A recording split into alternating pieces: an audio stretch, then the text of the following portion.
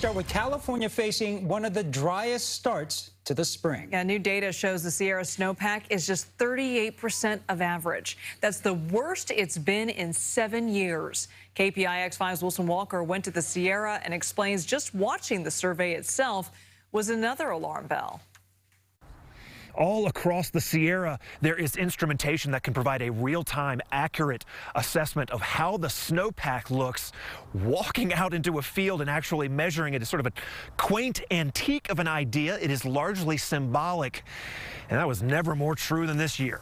You need no more evidence than standing here on this uh, very dry landscape to, to understand some of the challenges we're facing here in California.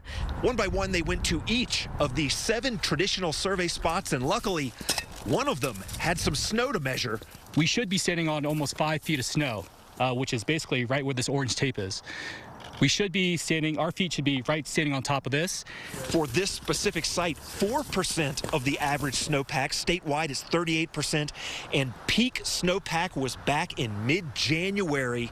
The first three months of this year were the driest on record dating back over 100 years. California's drought is intensifying. What we see here today is actually very evocative of, of 2015, um, which was California's last big drought. The reality is you know, this is the third year of a drought or it's the 20th year of a drought.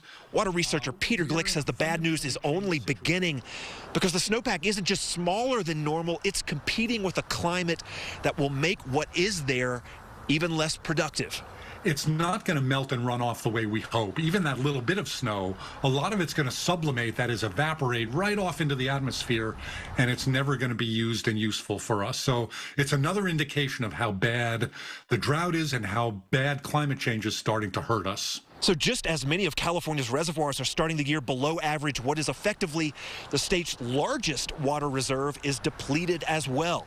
What happens in the Sierras happens in the East Bay.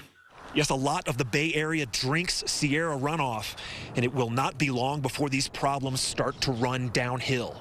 Um, at the local level, we may really see some mandatory watering, uh, water restrictions in place by the summertime.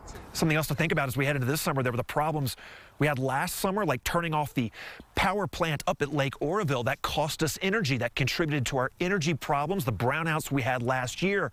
These problems add up on top of each other as you add different years of drought on each other.